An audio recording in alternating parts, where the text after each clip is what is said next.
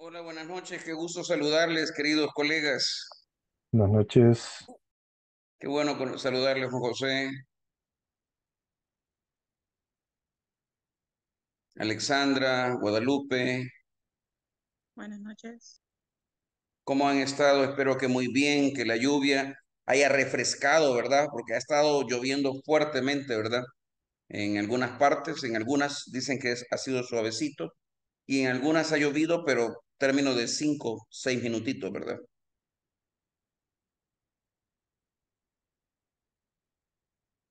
Qué bueno verles ya por acá. Estamos con un tema que este día estoy seguro que nos va a traer eh, reflexiones. Este día estuvimos eh, hablando sobre esa particularidad del desarrollo de, de ese tema eh, con algunos gerentes. Eh, este día estuvimos en, en una área específica, el autoconocimiento y la aceptación.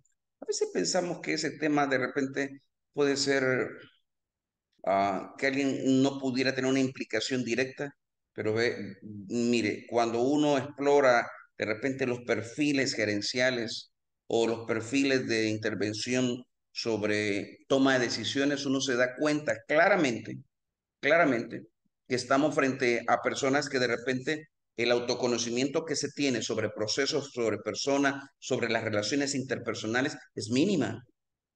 Es mínima porque lo básico muchas veces no se posee. Y lo básico estamos hablando de poder mantener, en este caso, eh, una relación estable, concreta, precisa, establecida a través de lo elemental, ¿verdad? Lo que es un saludo, lo que es de repente un buenas tardes, eso de repente se ve que pareciera ser que ya no existe. Un gerente ahora me decía, estamos luchando para que esto se vuelva identidad. ¡Wow! El, el saludar a alguien que se vuelve identidad, ¿se puede imaginar? O sea, eso no debería estar ni siquiera en tela de duda, o sea, sino todo lo contrario, debería estar marcado a través de una diferencia, eh, no solo de un, de, desde una perspectiva directa. Y cuando hablaba con ellos, les, preguntaba yo, ¿qué es lo que eh, entienden por autoconocimiento, autoconciencia? Porque uno de los problemas es, es que a veces no conocemos ni siquiera el significado de las palabras. Y eso es lo más craso. Eh, escuchamos de repente una frase, la divulgamos, pero no tenemos, en este caso, conocimiento pleno de lo que realmente se está dando, de lo que realmente se está proyectando. Y eso al final hace mucho daño. Eso al final hace mucho daño. Y por supuesto, cuando me refiero a eso es que el autoconocimiento y la aceptación es parte de ese proceso. ¿verdad? Eh, Son conceptos que van de la mano y la comprensión de los mismos hace que de repente mm, usted se pregunte en manos de quién estamos. Estaba frente a tres gerentes que definen mucho el direccionamiento en una parte de salud, claramente, y cómo eso de repente puede ser tan dañino si la persona no conoce y no entiende los procesos directamente vinculados, ¿verdad? Eso al final, queridos colegas, eh, deberíamos entender que el autoconocimiento nos va a poner en, un, en una clara zona de estar, ¿verdad? En una zona clara de arranque, pero también en una zona clara de resultados. La vida no puede ser si no tenemos resultados. Los resultados son para poderse medir, los resultados son para poder establecer. Estábamos ahora evaluando eh, la, la consultoría que se iba a hacer con ellos, claramente, y dos cosas ellos no tienen claro, ni quiénes son, ni para qué es lo que ellos lo, necesitan. Lo único que ellos quieren es modernizarse y que la palabra de modernización esté en ellos. Al final ellos me decían, primero comencemos a través del autoconocimiento, ¿verdad? Y eso es clave. El autoconocimiento nos va a permitir eh, tomar decisiones, ¿verdad? Y la aceptación, por supuesto, del mismo, ¿verdad? Nos va a permitir ese rango claro de, de, de, de qué hacer, Así que qué privilegio nuevamente es verles conectados, verles establecidos. Algunos veníamos un poco uh, temprano, pero la lluvia estaba así muy refrescante, pero de repente se pone el tráfico, ¿verdad? Muy, muy, muy calentito, ¿verdad? A, través del, de eso. Qué gusto el saludarle a cada uno de ustedes. Bienvenidos, bienvenidas. Y, y déjeme entonces poder avanzar un poco en el tema, ¿verdad? Es un poco eh, necesario el entender ese proceso. Bienvenidos, vamos a ocupar la misma agenda. Eh, compartiré con ustedes parte de lo que ahora estábamos eh, generando propuestas y por favor, si de repente usted tiene dudas, usted quiere participar aún cuando estamos poniendo, con todo gusto, ¿verdad? Es constructivista, ¿verdad? Nuestro proceso y por supuesto utilizando educación andragógica donde haya un refuerzo participativo, donde podamos en este caso eh, evidenciar lo que creemos, lo que pensamos, con lo que nos quedamos, porque eso es parte de, del proceso, ¿verdad? Evidenciar con lo que nos quedamos. Entonces, déjenme un poco compartir con ustedes, en este caso de la presentación.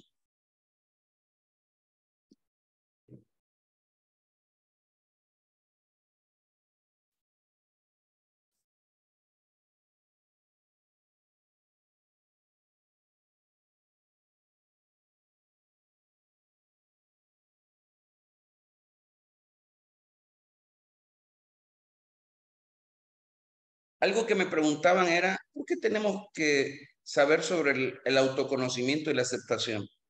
Y yo decía, si no se conoce, pues no, no podemos desprender nada. Conocer el autoconocimiento y la aceptación va a ser lo que queremos lograr. Nuestra meta será describirlos a través de aspectos, a través de elementos, y que al final tengamos una competencia mínima de identificarlos y eso al final, queridos colegas, se vuelve crucial, se vuelve fundamental, se vuelve eh, indudablemente esencial. ¿Por qué? Porque cuando hablo claramente del autoconocimiento y la aceptación, son dos elementos que van de la mano, están estrechamente relacionados. Se refiere a esa comprensión y aceptación de uno mismo. Si usted no se acepta a uno mismo, por ejemplo, imagínese que un médico no se acepte a sí mismo, por su temperamento y por el desarrollo de su carácter frente a otros, estamos muy mal. Y más si dirige un proceso en donde nos vemos involucrados, estamos mucho más. Para eso hay que tener el fundamento. Establezcamos qué es el autoconocimiento para poder hablar de él, pues, porque si, si no conocemos qué significa el autoconocimiento, entonces no podremos hablar de él. Y esto no es filosofía, sino es definición. Recuerde, el conocimiento viene cuando lo definimos. El autoconocimiento se refiere a esa capacidad de comprenderse y conocerse a uno mismo en varios aspectos. Y la gran pregunta, ¿se conoce usted en emociones? ¿Conoce sus pensamientos? ¿Conoce las fortalezas que usted tiene o que yo tengo? Las fragilidades, es decir, las debilidades, los valores, ¿qué es lo que le motiva? Si hay acá adentro lo que es un psicólogo sabe que la motivación no es una inyección, es algo que se despierta en el individuo. ¿Cuáles son las motivaciones que nosotros tenemos? Implica una profunda exploración interna y una mayor conciencia de quiénes somos realmente. Diría un pensador, no somos lo que nosotros decimos que somos, somos lo que la gente a veces dice que somos, porque la gente ve el resultado de lo que hacemos. Y eso en determinado momento se vuelve crucial. La exploración de conocer la fragilidad mía, suya, conocer sus fortalezas. Yo no sé, me imagino que sí, usted se ha hecho un poda al igual que yo, y no solo hemos extraído las variables internas que son fortalezas y debilidades, y las variables externas que son las oportunidades y amenazas que no dependen de nosotros. Me imagino que sí se ha hecho usted un FODA y luego ha hecho un cruce de variables ¿Cómo aumentar la fortaleza con, con la amenaza? Tengo algo que me amenaza.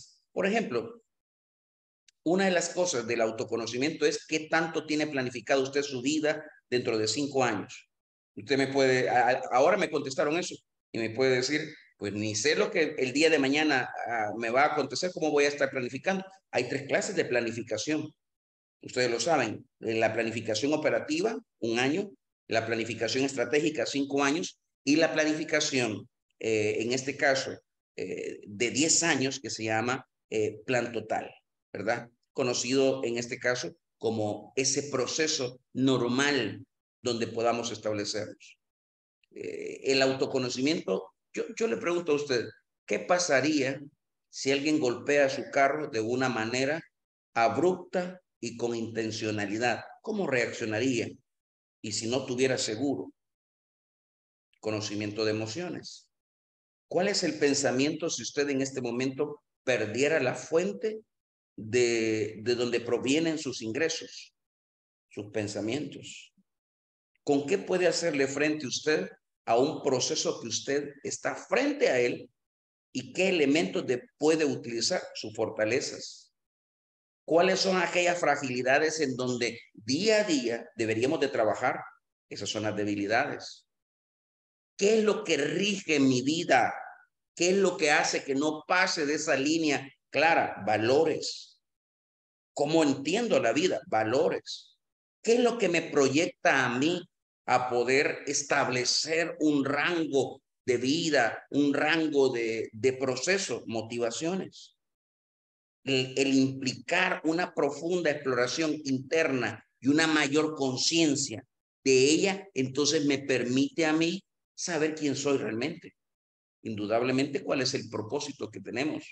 Ayer lo decía Juan José, ¿verdad? Si no ponemos a Dios también en medio, entonces no vamos a saber también cuál es nuestro propósito, ¿verdad? Y siendo muy respetuoso de, de lo que cada uno de repente pensemos, ¿verdad? Y creamos. Cuando tenemos un propósito claro, ¿por qué estamos acá? ¿Para qué estamos acá?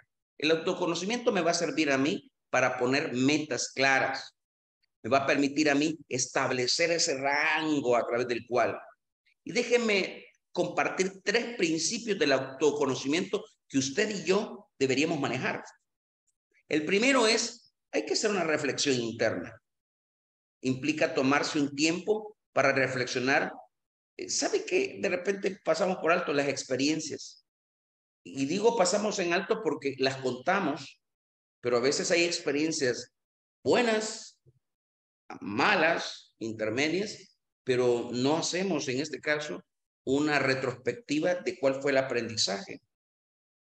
¿Cuál fue el aprendizaje?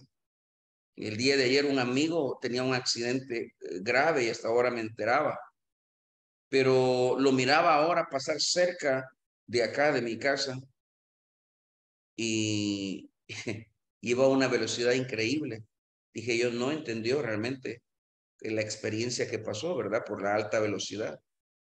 Entonces, la reflexión interna tiene que ver con nuestras experiencias, tiene que ver en este caso con los pensamientos que manejamos. ¿Qué clase de pensamientos manejamos? Un pensamiento, en este caso, de proceso, es decir, ir paso a paso. ¿Qué clase de, de pensamientos manejamos? ¿Qué tipo de emociones? La emoción eh, es aquella que me permite a mí establecer mi rango de eh, adaptabilidad, mi rango de posicionamiento. Por ejemplo, una emoción puede hacer que usted vea cómo en algunas generaciones, llamadas en este caso eh, Zetas, eh, padezcan de ansiedad abrumada directamente por algo que de repente no lo saben. Hoy me decía un médico que tienen alrededor, les ha crecido el 25% de eh, eh, consulta de emergencia sobre eh, lo que es ataques de ansiedad y no saben por qué es la ansiedad. No saben por qué es. Entonces, ¿por qué? Porque las emociones, las creencias, ¿en qué creemos? ¿Qué establecemos? ¿Cuál es el parámetro? ¿Qué entendemos por ética? ¿Qué entendemos por moral? No, esto nos va a permitir examinar qué estamos haciendo nosotros.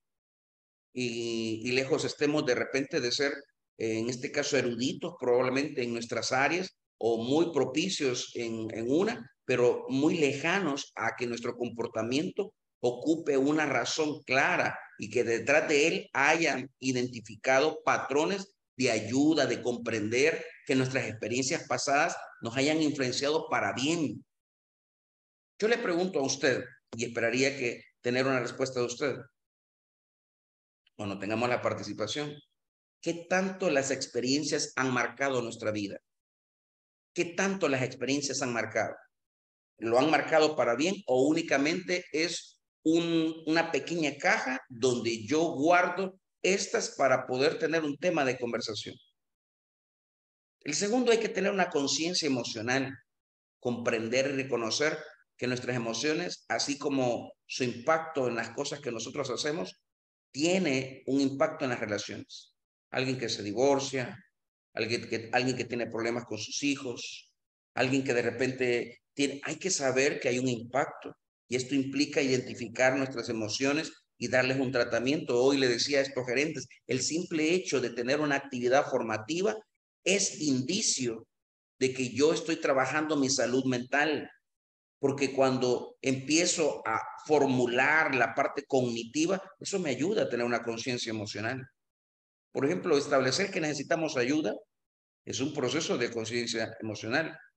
Lo más terrible que nos podría pasar es decir, no necesito ayuda, estoy bien, ¿verdad? O por lo menos decir, déjeme escuchar, déjeme ver cómo me siento. La conciencia emocional me permite e implica identificar aquellas emociones en un momento presente, aceptarlas, aprender a gestionarlas de una manera saludable, la pérdida de una persona, la pérdida de un empleo, la pérdida de una relación, la pérdida en este caso de relaciones con sus hijos, con un pariente, con lo que sea, con un empleo.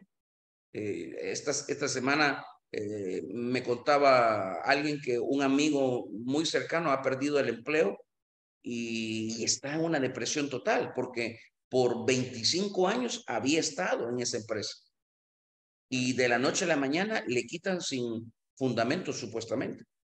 Eso le soy muy honesto, de repente tendríamos que eh, realizar una autoevaluación objetiva porque debemos ser capaces de evaluarnos a nosotros mismos de una manera, ¿qué será evaluarse de una manera objetiva? No piense más allá de lo que debe ser, ni tampoco se niegue la necesidad de saber que tiene competencias reales, reconociendo qué es la fortaleza que tenemos y la fragilidad. Tenemos fortaleza y fragilidad. El problema muchas veces es que crecemos demasiado y no vemos en este caso cuál es lo mínimo necesario que debíamos. Teníamos que tener un equilibrio de nosotros mismos y reconocer aquellas áreas en las que podemos mejorar, tener un plan. Ahora, si ya sé lo que es autoconocimiento, ¿qué es aceptación? Déjeme entonces precisar lo que es aceptación. Mire un concepto tan, eh, Müller habla claramente de este concepto. La aceptación implica aceptarse, valorarse a uno mismo incluyendo tanto las partes positivas como las negativas. Y, no está ahí, pero dice John Maxwell que la aceptación es la claridad de lo que yo he hecho y sobre eso pueda trabajar a través de hechos concretos, olvidando mitos. El autor de un líder de 360 grados. Es decir, es un acto de amor propio. ¿Cuándo fue la última vez que usted se vio cómo está el colesterol? Ah, hoy un, colega, un gerente, estaba exponiendo su plan de acción en, en la formación que teníamos y se mareó. Rápidamente se mareó. Y alguien le dijo, ¿te has visto? No, tengo alrededor de tres años de no hacerme un chequeo. Hay que tener compasión por uno mismo. Esta máquina que se llama cuerpo necesita atención al igual que un vehículo. Alguien me decía, es que ese vehículo es malo. No, no, no es malo. Lo que pasa es que no le dan, en este caso, el mantenimiento necesario. Entonces, aceptando nuestras limitaciones, nuestros errores pasados, características únicas que usted y yo tenemos, entonces con ellos puedo yo compartir tres elementos principales de la aceptación. Hay que practicar pero no desmesuradamente lo que alguien, en este caso, como John Maxwell, habla de la autocompasión, ¿verdad? Y la autocompasión eh, implica tratarnos a nosotros mismos con amabilidad, no como con miseria. Me encanta la conferencia que él habla sobre la autocompasión, porque algunos tienen una autocompasión de miseria, pobrecito de mí. No, no, no. La autocompasión habla de tratarnos a nosotros mismos con, con amabilidad. Y quiero recordarle algo que él habla claramente. Lo que nosotros decimos tiene poder. Si usted dice que no puede, entonces no puede. Lo que usted pronuncia tiene poder. Significa que hay que ser amables y comprensivos con nuestras imperfecciones y mejorarlas. Tampoco dejarlas ahí no es, una hay que tener un plan claro de poderlas superar. No hay peor cosa que de repente no querramos superar un elemento mínimo necesario. Por ejemplo, el accidente de este colega, amigo, ¿verdad? Vecino. ¿Cómo es posible que un vehículo que ronda, en este caso, los 35 mil dólares y que no tenía seguro, se lo terminó y ahora va con el vehículo, en este caso, a toda prisa con su, con su esposa? No aprendió la lección. No, se, no tiene una autocompasión. Es decir, los desafíos que están enfrentando, está cometiendo el mismo error, el mismo error. Es decir, hay que ser amables con nosotros, pero también hay que entender que el principio de establecimiento debe estar de parte nuestra. El segundo elemento principal de la aceptación es aceptar nuestras emociones. En lugar de negarlas o reprimirlas, que es un problema muy grande, en el caso de los hombres tendemos a reprimir nuestras emociones y es por eso que cuando hay una eh, eh, se reprime la emoción es cuando de repente no la guardamos y el primero que en este caso salta y palpita más rápido es nuestro corazón. Nuestro corazón. Y si no, en este caso vea el estudio de 2016 de parte de la OPS en El Salvador. ¿Cuántos hombres mueren por reprimir, en este caso, eh, ciertas emociones a través de una implícita y clara tratamiento, no va a estar llorando usted durante toda la vida, pero cómo entender por qué nos ponemos tristes y la implicación de sentir y experimentar sin juicio alguno, indudablemente también hay que evaluarnos, porque hay una cosa que se llama autoevaluación. La aceptación no está lejos de eso. No es que yo voy a decir, no, esto, yo lo hice, pero no lo hice con ese sentido. No, ese es un cinismo. Y hay que entender muy claramente que está muy lejos de, de lo, que, lo que queremos eh, precisar. El cinismo es algo que se hace sin culpa alguna. Y es por eso que deberíamos entender que no solamente el proceso de, de precisión sobre las mismas se establece. El tercer elemento, no menos importante, es en este caso la practicidad de un plan de automejora. ¿Cómo me puedo mejorar? Por ejemplo, las emociones, ¿cómo se pueden mejorar? A través del ejercicio físico. ¿Cómo se puede mejorar? Si hay pensamientos saludables, en este caso habrá un plan de aceptación clara. Pero si usted está frente a otros, entonces se va a cumplir un principio bíblico, bíblico de las Sagradas Escrituras que dice claramente, las malas compañías pervierten las buenas costumbres. Y eso es así. O si no, hablemos en este caso lo que acción ideología hablaba en este caso directamente sobre el hecho de ser sujetos de nuestra propia historia. Nosotros somos los que ponemos el fundamento. Nadie nos empuja. Nosotros nos colocamos en ese sitio y por eso somos influenciables. Ahora, el autoconocimiento y la aceptación pasa por ese plan de automejora. ¿Qué es lo que usted está, está mejorando? Porque al final somos nosotros los responsables de mejorar, de establecer, de permitir, de generar, y no solamente de generar, sino también de decir, basta ya. Usted sabe que hay algunas cosas que no debería de pensarlas. ¿Cómo es posible que de repente tengamos suicidios de, de, de familias? Significa no, que no hubieron pensamientos, en este caso de claridad. La calidad de pensamientos, decía Marco Aurelio, es la calidad de vida que nosotros podemos tener. Qué bueno el poder tenerle a ustedes ahora acá, ¿verdad? Y poder saludarles y poder escucharles, ¿verdad? Y verles a través de este medio. Eh, agradecido de ustedes, recordarles siempre que es importante para nosotros, a través de lo que Insafor nos pide, que usted pueda, en este caso, tener su cámara encendida. Me gustaría escucharles a ustedes al momento de que estoy pasando lista Siempre es un privilegio de poder escucharle. Juan José, ¿qué piensa de esto del autoconocimiento y la, y la autoaceptación? ¿Qué piensa sobre esto? Dice que es un tema bien, bien complejo, ¿verdad? Porque casi siempre nosotros estamos acostumbrados a observar a los demás y no a nosotros mismos. Entonces, ahí es donde uno pierde muchas muchas veces eh, ese, el enfoque de, de tener ese conocimiento de sí mismo. Tal vez no sé si está relacionado, pero en experiencia personal, le digo, cuando usted menciona, ha mencionado como en, en, las diferentes conferencias el tema de la ansiedad, ¿verdad? Y, y yo, francamente, padezco de ansiedad, de la, de la terrible. o sea, yo, yo tengo esa ansiedad de que siento que me voy a morir, de que de repente el aire no, no, no, no alcanza. Y hace, allá por el 2019, no, no, quizá fue como el 2018.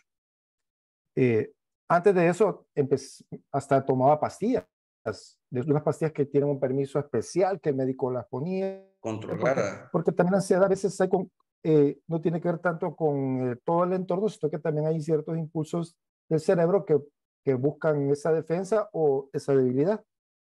¿Y por qué comparto esto? Eh, resulta que en una vez, creo que fue como el 2018, a mí me habían dado una cuenta de fuera del país.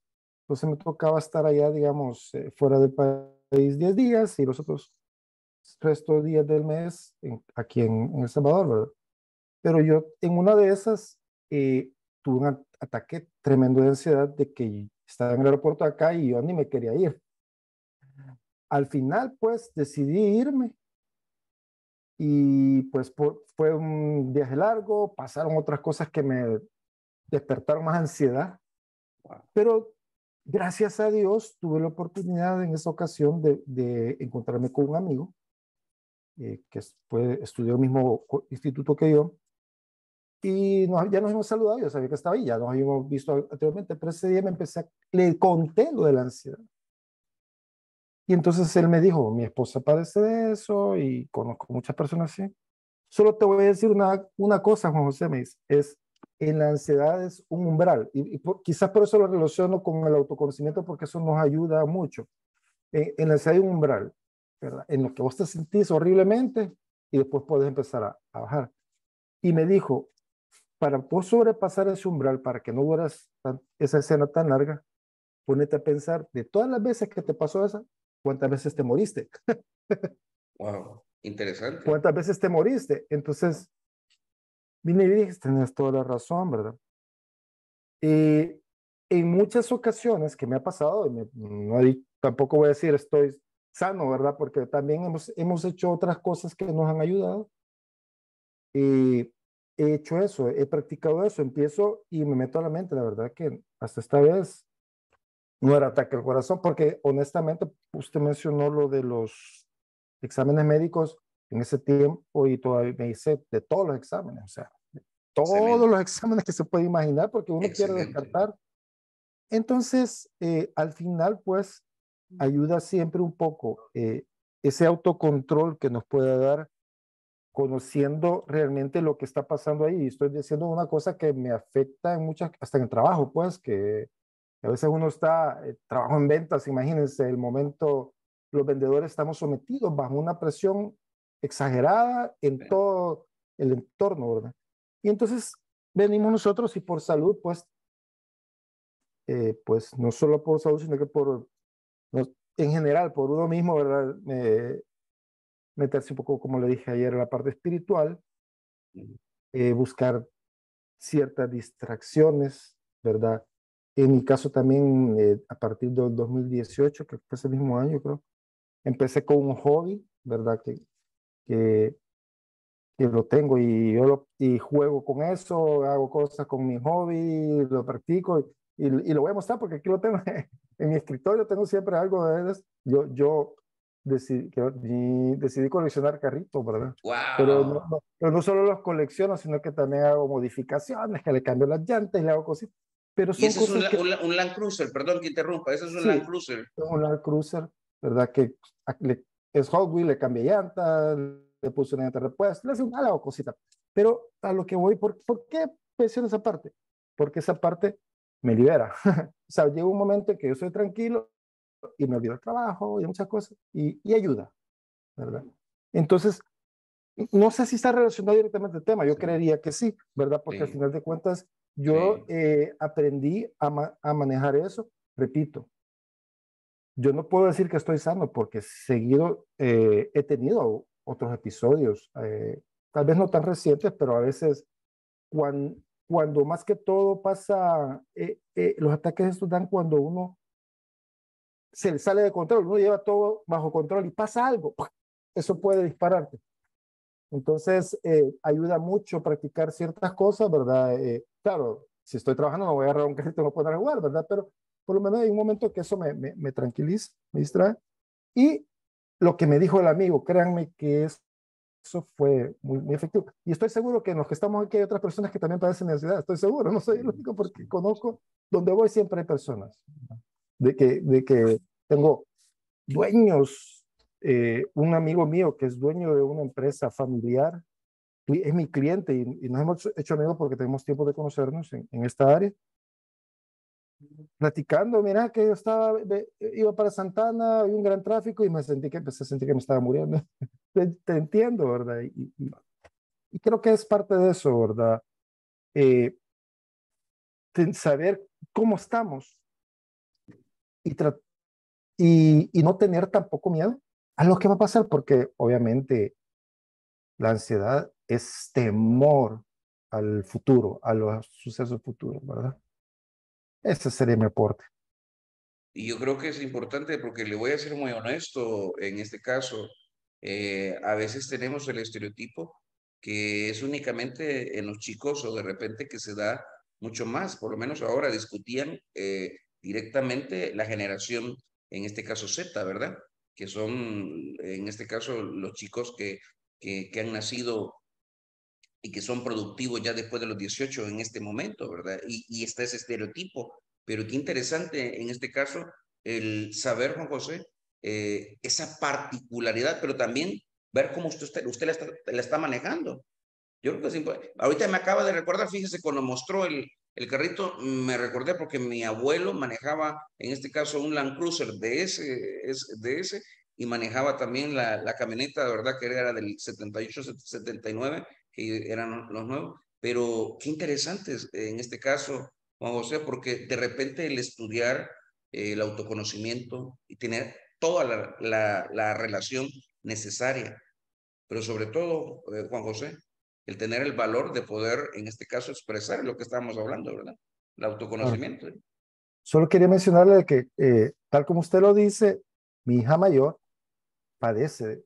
De repente, papá, llévame, papi, llévame al hospital porque... No, hija, mira, tranquilicémonos. Y, y empezamos a trabajar, la verdad. Sí, es, es bien, bien tremendo, ¿verdad? Y, y fíjese que a veces uno por desconocimiento, a veces por ignorancia, cuando no lo ha padecido, a veces no lo, no lo entiende. Yo estuve en un campamento, se llama Camping Up en México, y vi como tres chicos se descompensaron claramente en ansiedad, pero yo no lograba entender por qué. Y ellos estaban pensando en una competencia al día siguiente que iba, iba a estar ahí. Y la ansiedad, les, eh, ellos ya habían ganado, pero su ansiedad era qué iba a pasar al momento de recibir el premio. Yo, yo no lograba entender. A veces la ignorancia es atrevida, ¿verdad? A veces la ignorancia es atrevida porque el desconocimiento de repente, cuando no hemos pasado por esos procesos, nos hace de repente tener eh, una periferia quizás que no sea la más adecuada. Pero gracias, Juan José, porque nos educa enormemente para conocer que no solamente son los chicos que están pasando etapas, pero también la valentía de poder encontrar solución, porque esa es la otra cosa. Lo peor podría ser quedarme únicamente sin hacer nada, ¿verdad? Y, no tener herramientas y no buscar, en este caso, alternativas de solución. Eso es clave, es fundamental, ¿verdad? Y, y le agradezco enormemente el poder compartir eso, porque en lo personal me ayuda y me educa enormemente en conocimiento, en escuchar, ¿verdad? Gracias, Juan José, muy amable realmente, muy amable por el aporte. Giselle Beatriz Hernández Morales,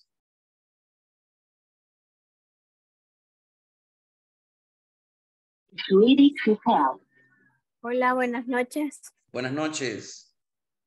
Sí se me escucha. Sí, sí, ahora sí. Ok.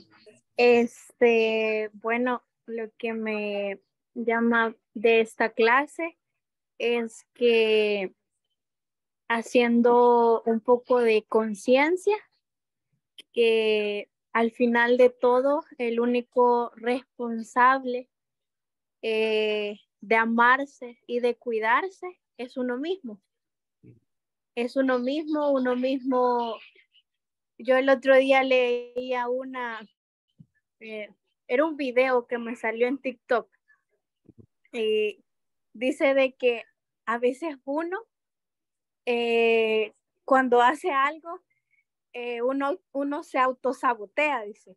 Ah, qué tonto. Ah, que cuando uno hace eso, en vez de decirse, ¿por qué no lo hago mejor? O lo voy a hacer mejor. O, ok, me pasó. En vez de alentarnos nosotros, nos autosaboteamos diciéndonos cosas que no nos, no nos benefician. Y eh, escuchando ahí al compañero, ¿verdad? También me recordé de cuando estaba en el colegio. Eh, el bachillerato fue una etapa en la que yo sentí demasiado estrés o sea, estudiaba desde las 7 de la mañana hasta las 5 de la tarde y tenía metido aquí en la cabeza de que buenas notas, de que las tareas y que todo tenía que ser mejor. Hasta que llegué a un punto en que eh, mi salud me lo demandó. Eh, se me durmió la mitad de la cara. Wow. Eh, este, y bueno, mi abuelita me llevó al doctor y me recuerdo perfectamente que el doctor me sentó y me dijo, Giselle me dijo, eh, si tú te mueres, me dice, si a ti te pasa algo, me dijo, ¿qué va a pasar con tus materias? Me dice. Y yo, pues no sé. Y me dijo él, la respuesta es simple, ahí van a quedar, me dijo. Y tú no, me dijo tú te vas a ir, me dijo. Deja de, de, de estresarte, me dijo. Deja de, de ponerle tanta ansiedad, me dijo, a cosas que tienen solución, a cosas que se pueden tomar con calma, a cosas que no es necesario que saques un 10 o que sea lo mejor. Y cada vez que, eh, bueno, hoy en la vida ya adulta, en el trabajo, en la vida personal, he tenido cosas que yo siento que, que las quiero hacer ya, que necesito hacerlas mejor y empiezo a sentirme mal y me acuerdo de eso. Todo va a mejorar, todo va a estar bien.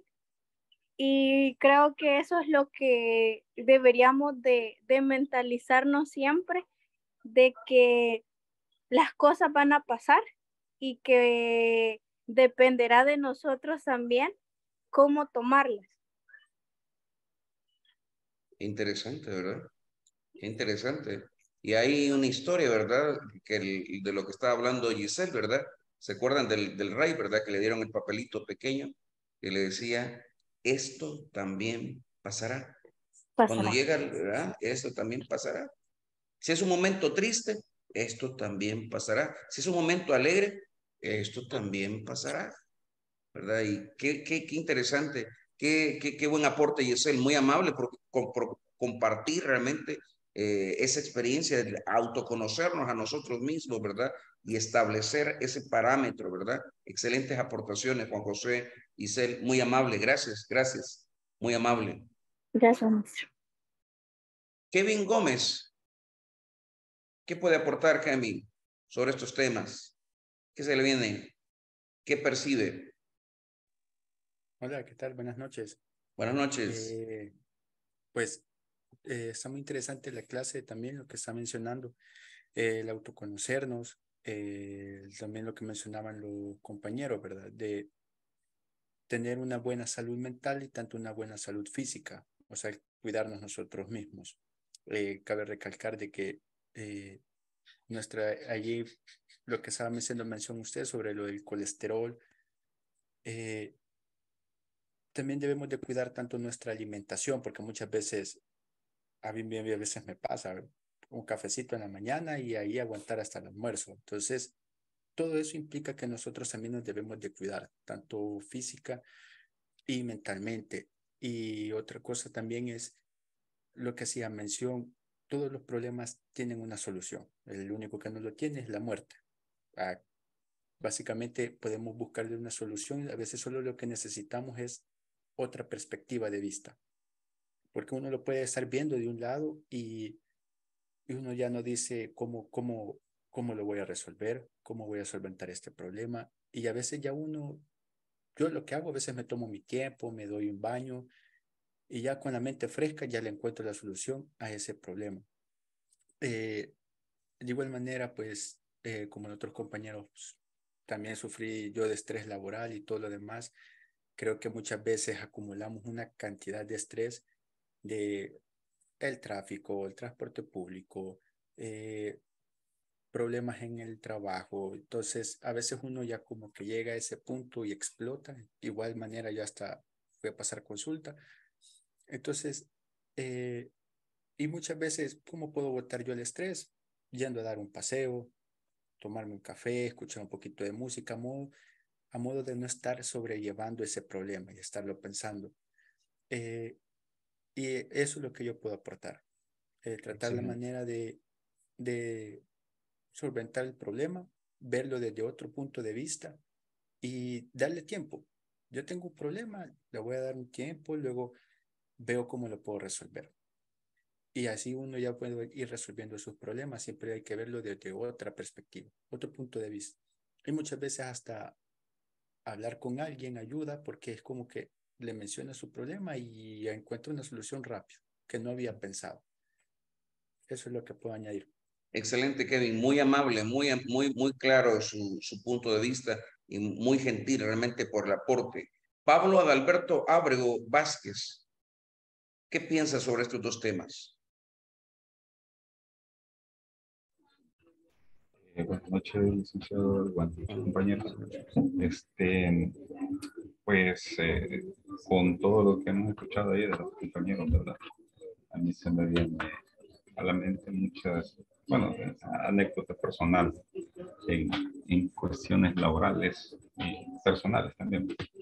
Eh, hará quizás como unos eh, 11 años más o menos eh, en la empresa donde trabajo, a mí me ascendieron. Entonces, eh, como era uno de los poquitos recientes de, de haber llegado allí, ¿verdad? Y había más personas que habían estado más tiempo ahí que, que yo, eh, no mucho les agradó el hecho de que yo fuera ascendido y no ellos. Eh, bueno, ahí es decisión de, de, los jefes inmediatos, ¿verdad?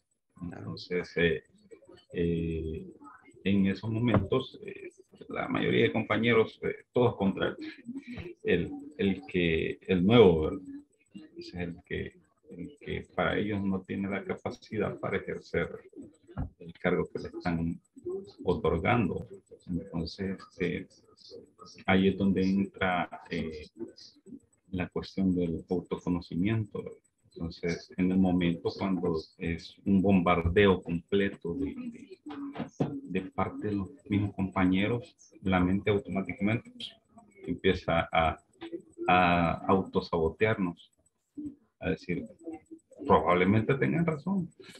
soy más nuevo que ellos y, y me falta experiencia, pero eh, conforme va pasando el tiempo, pues vamos dándonos cuenta de que tal vez, eh, como dicen, Valoso, solo, solo ven para afuera, no para adentro.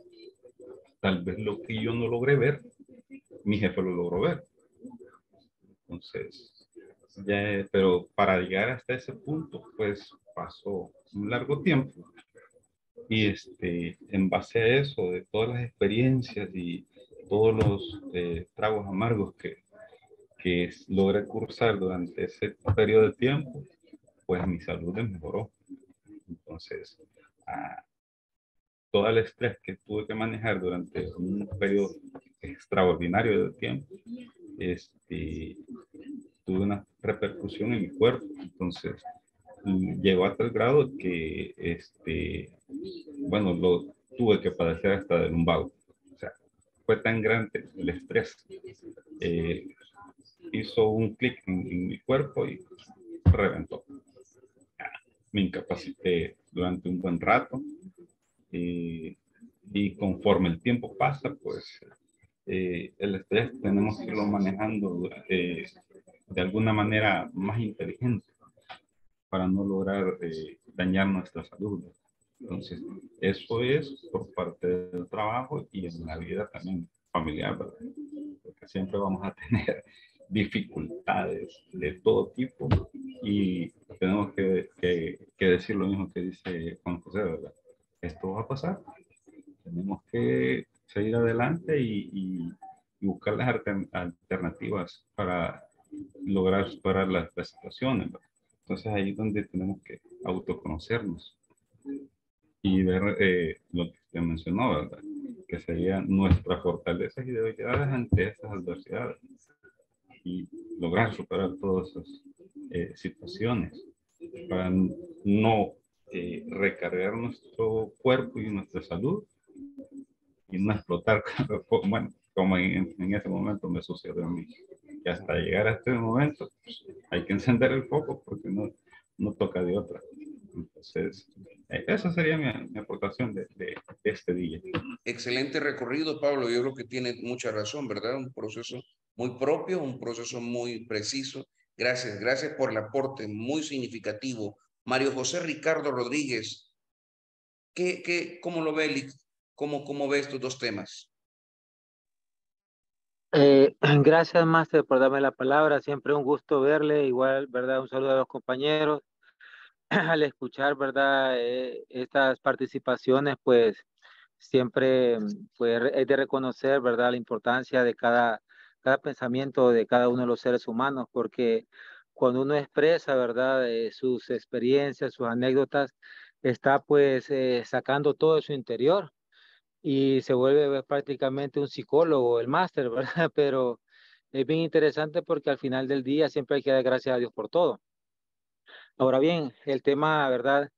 De la autoaceptación es bien importante y usted ha sido una pregunta a un inicio, ¿verdad? ¿Cómo influyen las experiencias de nuestra vida para conocernos bien? Y al ver, ¿verdad? También algunos, algunos compañeros que tienen bastante, ¿verdad? Experiencia en el área, en su vida, también tantas cosas que les han pasado. Siempre, ¿verdad? Eh, uno hace como una perspectiva de todo, todo su entorno, ¿verdad? Todo su historial, el, prácticamente, ¿verdad? La bitácora de todos los días, una, una experiencia que tienen también los europeos de llevar apuntado lo que han hecho todo el día, como su libro diario.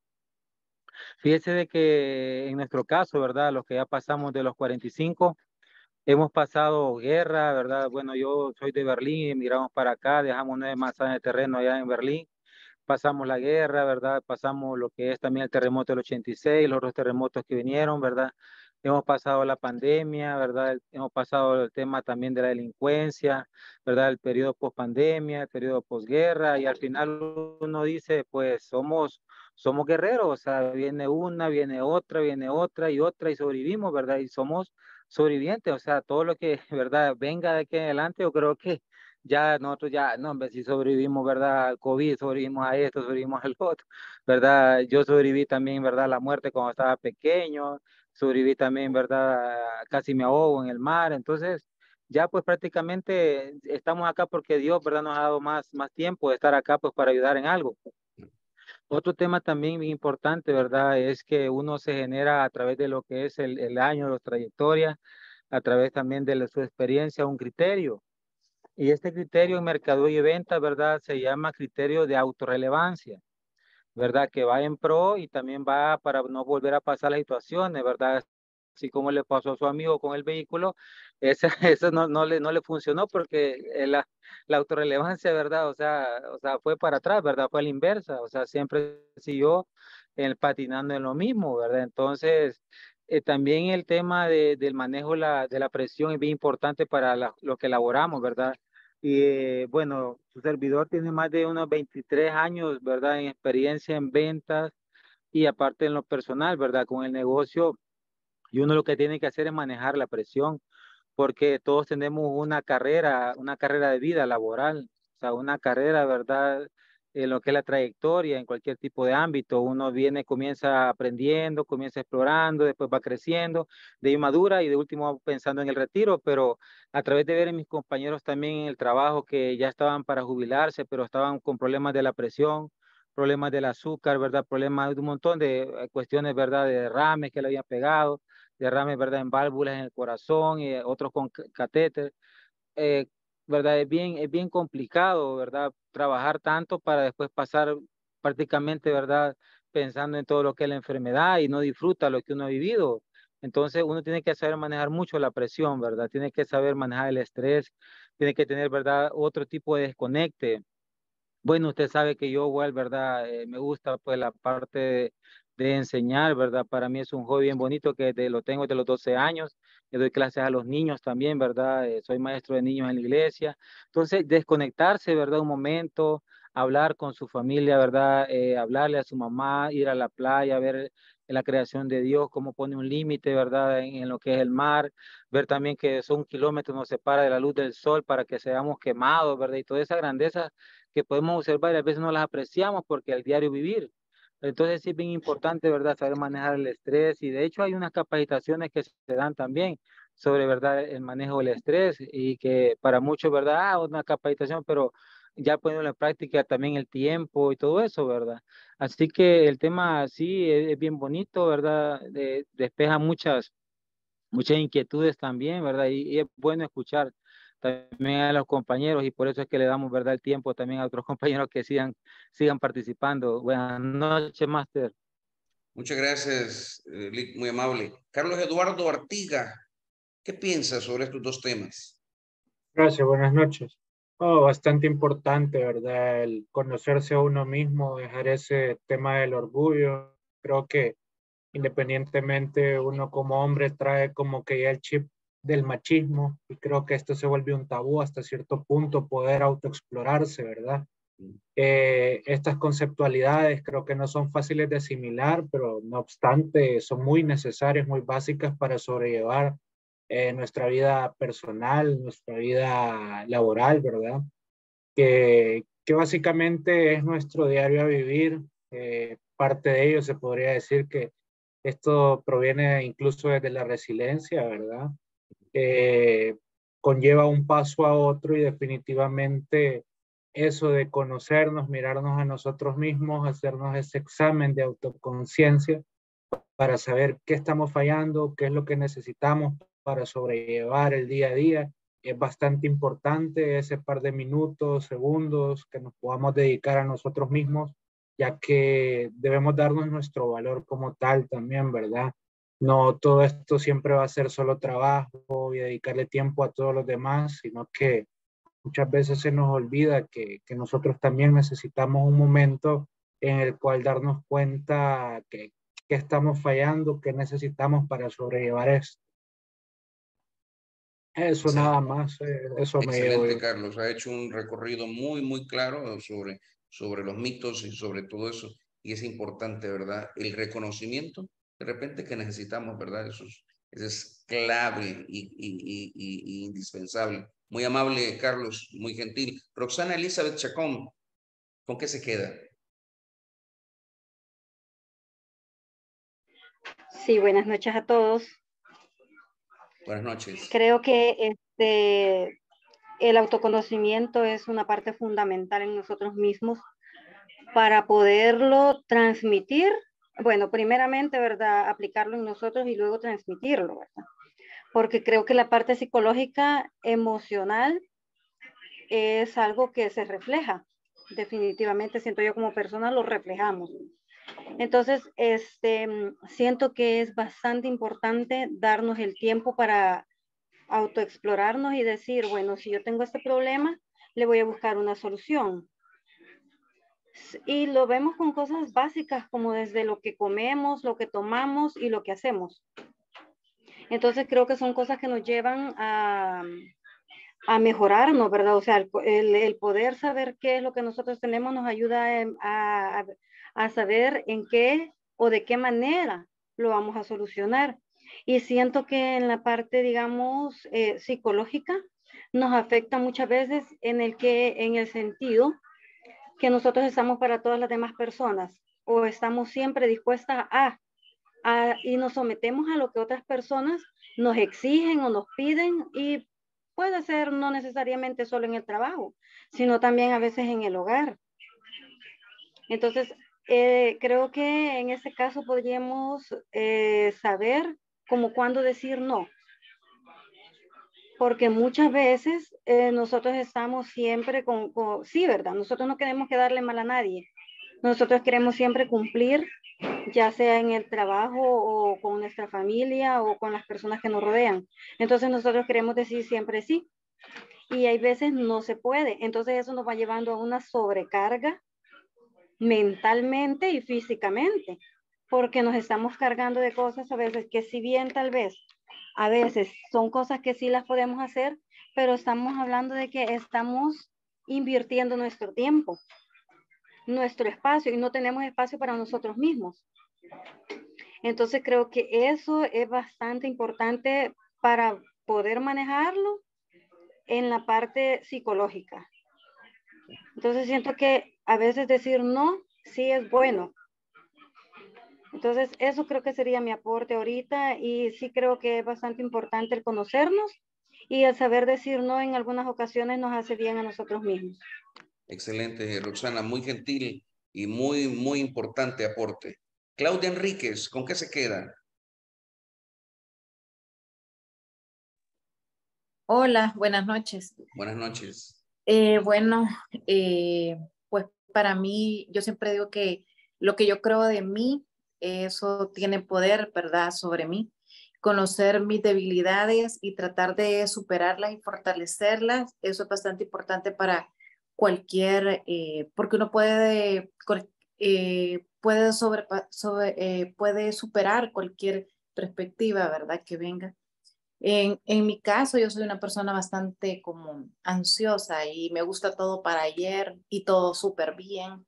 Entonces eso no es muy bueno en cierta medida porque sí también he sufrido de ansiedad, pero aprendí a conocer qué era, la, qué era ansiedad lo que yo tenía, porque yo igual que el compañero me escapaba a morir y yo decía me voy a morir y de repente y me iba al hospital y yo le decía, mire, métame una cosa, métame otra, que yo siento que me voy a morir. Y me hacían mil exámenes y me decían, si usted no tiene nada. Al final, pues, aprendí a conocerme y, eh, qué era lo que me daba ansiedad, por lo mismo que soy bien, bien estresada, ¿verdad?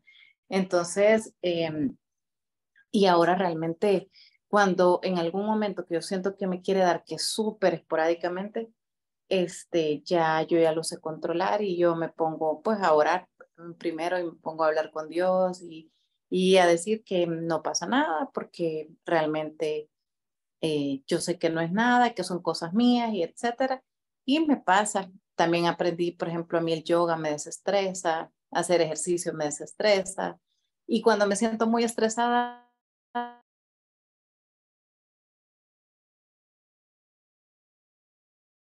¿Se nos fue Claudia?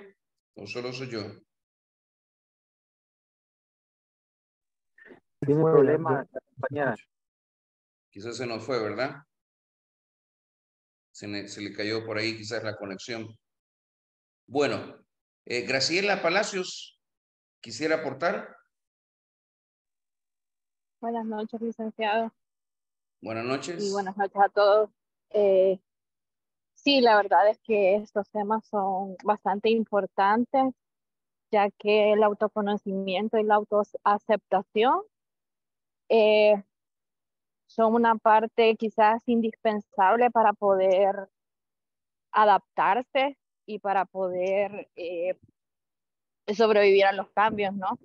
En mi caso, pues yo creo que aquí la mayoría todos tenemos procesos en, este sentido. La vez pasada le mencionaba de que en mi trabajo anterior yo había desarrollado un TIC y eh, con el tiempo y aprendí a, a, conocerme qué era lo que a mí realmente me, me afectaba. Y en mi caso, pues he llegado, me costó varios años de de ver qué que, que era lo que a mí me desesperaba y el problema conmigo es que me cuesta manejar la frustración. Eh, desde pequeñita a mí me, o sea, no soy la mayor de seis hermanos y eh, psicológicamente y sin ninguna intención depositaron en mí la responsabilidad de que yo tenía que dar el ejemplo para todos los que venían. Entonces yo tenía que tener las mejores notas, yo tenía que portarme bien, yo tenía que, bueno, en fin. Entonces esto quizás internamente me hizo que yo eh, no aceptara cuando yo me equivocaba.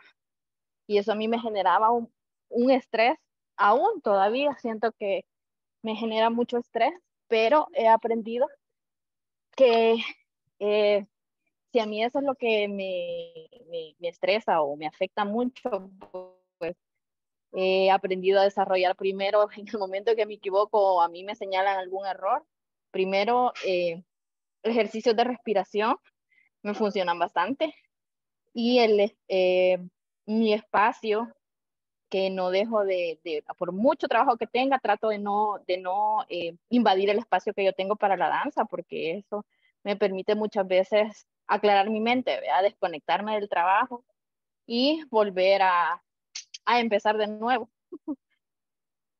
Solamente licenciado. Excelente, gracias, gracias. Qué interesante el poder escuchar cada participación, la experiencia. Eh, es educativo también escuchar, eh, ¿verdad? Cada uno de los procesos porque nos permite establecer claramente qué es lo que estamos haciendo. Colegas, qué, rápido se nos va la hora. Quisiera que en este caso fuera mucho más para poder eh, estar dialogando, ¿verdad? Y aprender. Interesante, me he sentido en este caso muy, muy, muy educado en el sentido de escuchar las experiencias de cada uno, que por cierto, cuando nosotros hacemos, eh, eh, se llama mentoring inversa, se llama, ¿verdad? El poder compartir experiencias, pero también el poder aprender de esas experiencias. Es, una técnica, ¿verdad? Se llama mentoring inversa. Un gusto saludarles, ¿verdad? Se nos ha ido rápidamente la, la, la hora, ¿verdad? Yo agradezco siempre el poder aprender de ustedes también. Muchas gracias por la gentileza de acompañarme. El día de mañana tenemos un tema importante para poder cerrar la semana, ¿verdad? Les espero. Bendiciones, por favor. Recuerden sobre todo, usted necesita autocuido y sobre todo hay que buscar aquellas cosas que en nuestro corazón nos hace bien. Una de esas, indudablemente, la mayor de todas, es Dios, ¿verdad? Así que bendiciones. Nos vemos el día de mañana, ¿verdad? A, esta, a, a las mismas horas de las ocho para terminar exactamente a las nueve. Feliz noche. Buenas noches a todos. Feliz noche a todos. Buenas noches igualmente para todos.